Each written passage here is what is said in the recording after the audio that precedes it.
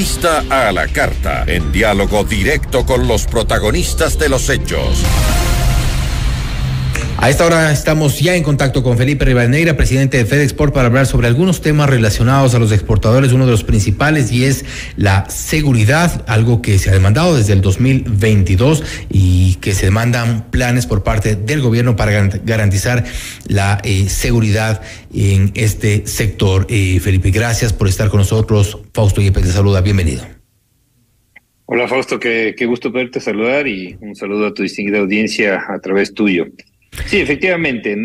Dime, dime, te escucho. Sí, no, no, está bien. Hablemos de los procesos preventivos de seguridad, porque desde el 2022 habían eh, demandas por parte del sector exportador respecto de planes que puede implementarse desde el gobierno, con la, ayuda del gobierno, por eh, precisamente a propósito de las denuncias, gran cantidad de ellas que se dieron a finales de año principalmente. Sí, a ver, nosotros desde la Federación Ecuatoriana de Exportadores de este año eh, estamos trabajando fuertemente y con la Policía Antinarcóticos. Tuvimos una reunión el día lunes, también el día martes tuvimos una reunión con el director de la UAFE, Roberto Andrade, justamente con la idea de empezar a generar dos aspectos fundamentales. Uno, aceptar esta realidad que, es dura de aceptarla, Fausto, es decir, eh, sabemos que las contaminaciones eh, cada vez crecen más y dos, no solo por, por el hecho de, proteger las contaminaciones, sino que creo que la sociedad entera y el sector exportador, eh, con el éxito que ha tenido en este 2022 y 2021 y 2020, no está ajeno de esta amenaza transnacional que existe y tenemos que dar herramientas a todos nuestros exportadores para que eh, puedan poder eh, prevenir de alguna manera este, este evento. Es decir, por eso te decía que vamos a hacer en dos etapas, ¿no? Uno, una acción muy fuerte eh, de capacitación a través de eh, las herramientas que nos da la misma UAF, es decir, porque tenemos, no nos olvidemos que el exportador no es solo el que manda la, la mercadería afuera, sino también toda la cadena, es decir, todos los proveedores, y tenemos que tener muchísimo cuidado en eso. Entonces vamos a, vamos a empezar este año y seguramente firmaremos unos convenios con estas dos instituciones de unas semanas y haremos un anuncio público, porque lo que queremos es proteger nuestra reputación como exportadores. El Ecuador tiene el mejor camarón del mundo, el mejor banano del mundo, la mejor flor del mundo, el mejor cacao del mundo, y no podemos eh, permitir que esta reputación que nos ha costado muchísimos años el poderla tener a nivel mundial se vea arrebatada por contaminaciones de encarga que pueden llegar a puertos de destino de mercados importantes en donde se pueda tener un recelo del Ecuador. Ahora, eh, no es fácil esta lucha, ¿no? Y por el otro lado, también trabajar con la Policía Antinarcótico para buscar esquemas de estándares que de alguna manera también no entorpezcan la exportación, porque por un lado tienes el tema de la seguridad que es extremadamente importante, pero por el otro lado también tienes la competitividad y la agilidad y la eficiencia que tiene que haber en los procesos de logística, ¿no? Es decir, tú tienes carga perecedera, tienes carga que tiene que cumplir ciertos, ciertos momentos, entonces es una situación muy, muy compleja donde se tiene que tratar de optimizar los tiempos. Hemos tenido total apertura de la autoridad y eso creo que es digno de resaltar. Y sin embargo, tenemos que ir corrigiendo temas, ¿no? Por ejemplo, no se puede hablar de una inspección antinarcóticos con 12 horas de anticipación a una empresa que no está localizada en Guayaquil o que no puede enviar a la persona y por eso se pierde el espacio, por ejemplo, en el buque en una crisis logística. Entonces, son cierta cantidad de detalles de carpintería. Obviamente no se los puede hacer tan públicos porque es parte de la estrategia, pero estamos trabajando muy fuertemente en eso y creo que este año el, Ecuador, y yo creo que toda la sociedad ecuatoriana tiene que ponerse a trabajar fuertemente en ese aspecto, porque claro, estamos ante una amenaza eh, que ya dejó de ser un tema aislado, que ya dejó de ser un tema eh, ocasional, y qué mejor tomar las medidas preventivas para justamente mencionarte lo que te decía, ¿no? Prevenir la, la, reputación y segundo, también disminuir la contaminación y que obviamente sepan que aquí estamos preparados para combatir eso. Y creo que es importante lo, lo que se ha mencionado respecto a la contaminación, porque si bien se ha incrementado eh, estas, estos, estos hallazgos, por ponerlos de esta, de esta manera, esto tiene una relación directa con la competitividad. Se ha reducido la competitividad precisamente por eh, la contaminación de carga de los exportadores ¿Cómo, cómo atacar directamente al problema de la contaminación? A ver, es un tema muy complejo, ¿no? Nosotros tenemos calculado que el sector exportador invierte alrededor de 150 millones de dólares al año en seguridad privada. Esa es la verdad. O sea, la, falta de, la capacidad que tiene el sector público obliga a que el sector privado invierta en eso, porque lógicamente nosotros invertimos desde la custodia, en la planta de la producción, en el embarque en el contenedor, en los sellos satelitales, en la certificación BAS, en el transporte eh, terrestre. Pero claro, llega esto al puerto y en el puerto nos contaminan sin tener nosotros responsabilidad. Y si es que llega a haber una contaminación de ganchos llego, que se llama, es decir, que te contaminan en el puerto, y si la policía antinarcóticos que hace bien su trabajo, porque esto hay que decirlo, Fausto, hace muy bien su trabajo, te detecta, ¿qué es lo que pasa?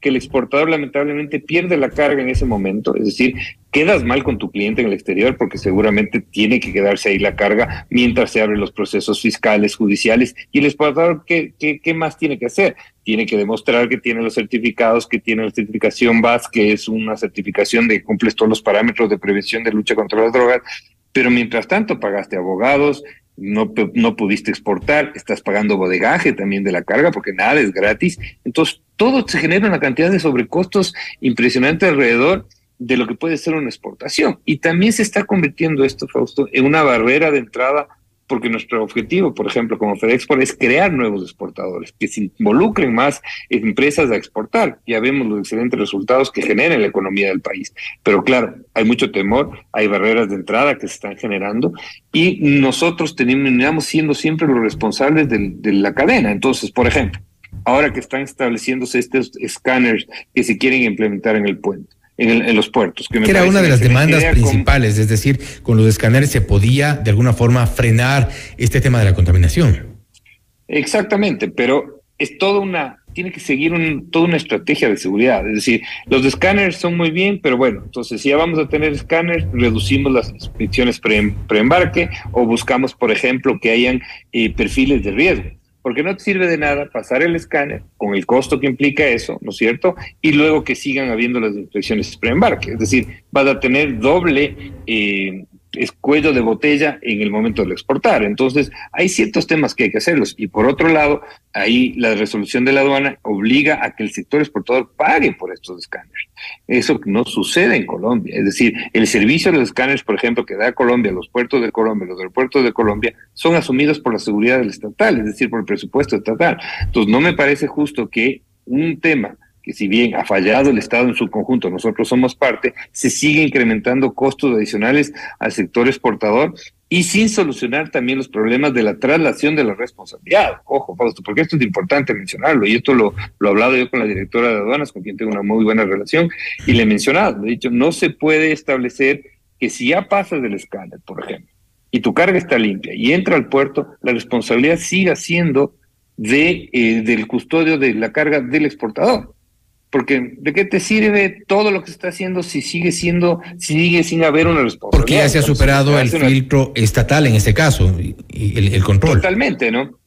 Y si hay una contaminación posterior, bueno, los puertos tendrán que ser responsables en su momento. Es decir, insisto, tiene que haber una estrategia total integral de seguridad que esa es la que queremos construirla. Lamentablemente ahorita no la hay. No es por poner un radar y ya tenemos el ejemplo de lo que sucedió en el radar de Montecristi, ¿no es cierto? Pusieron el radar, enseguida se dañó el radar y a la final eso no llegó a funcionar. Y, lo que ha ocurrido con todos los escáneres que están bajo eh, custodia, bajo control de entidades indistintamente estatales. Esto ocurre inclusive en las cárceles, lo cual es insólito, eh, que teniendo la tecnología, en algunos casos teniendo eh, todo a mano para evitar este tipo de contaminación de cosas ocurra en, nuestro país. Y Felipe, para eh, cerrar un poco la entrevista y sí, es importante también que tiene una relación directa sobre las perspectivas del sector y los acuerdos comerciales. De estos eh, no se podría salir de pronto eh, muy bien el sector exportador si es que estas tres cosas no van de la mano. Los acuerdos comerciales ya eh, se los trabaja. Hemos tenido también en algunas ocasiones acá al canciller nos ha hablado de los acuerdos, cómo avanzan. El tema de México, que bueno, está un poco trabado también Costa Rica. Eh, hay otros acuerdos en camino. ¿El sector exportador está preparado? Totalmente, ¿no? Yo creo que la oferta exportable demostró que tiene una capacidad enorme de exportar todos los productos a nivel mundial. Fíjate lo que sucedió en la pandemia de 2020-2021, donde la demanda se disparó y el sector exportador estuvo presente y con una oferta exportable liderada y, robusta para poder cumplir y por eso son nuestros crecimientos que se han dado. Sin embargo, sí nos preocupa este año, te digo, Fausto, vamos a cerrar con buenas noticias, vamos a cerrar con alrededor de 18 mil millones de dólares en exportaciones no petroleras y si sumas las mineras estamos hablando de 20 mil millones de dólares. Es una gran noticia para el país porque al final hemos logrado ya duplicar la exportación petrolera. Y esto es bueno, porque esto es crecimiento del sector privado. Tú sabes que al final, el momento que empiezas a crecer y duplicar, yo siempre mencionaba, soñemos con un país en que dupliquemos, tripliquemos las exportaciones no petroleras de las petroleras, porque ya sabemos lo que pasa con las exportaciones petroleras. No es un bien primero, no renovable, es un recurso que algún rato se va a terminar. Y segundo, eso va al Estado con toda la corrupción que genere y demás. Entonces, a la final, y nosotros podemos seguir creciendo y para eso requerimos los acuerdos comerciales que son extremadamente importantes. Esperemos que este año se concreten más negociaciones y que se aprueben las negociaciones ya cerradas, como la de Costa Rica y la de China, es decir, que la Corte Constitucional y la Asamblea hagan su trabajo den una mayor protección a las exportaciones y una mayor oportunidad de seguir creciendo. Eh, no está fácil lo que se viene en el 2023, Fausto. Lamentablemente, la guerra Rusia-Ucrania y ya está pasando sus facturas, los coletazos de una guerra que se ha demorado demasiado y que no debe haber existido para empezar, pero bueno, que igual se ha demorado demasiado y ya vemos una inflación fuerte en Europa de alrededor del 8%, una inflación en los Estados Unidos de alrededor del 6%, una guerra de precios muy fuerte. Entonces tenemos que trabajar y necesariamente en costos flexibles, es decir, el Ecuador tiene que tener una estructura de costos flexibles y por eso te decía lo que decía al inicio, ¿no? Si buscamos, si tenemos problemas de seguridad, tenemos que invertir en seguridad.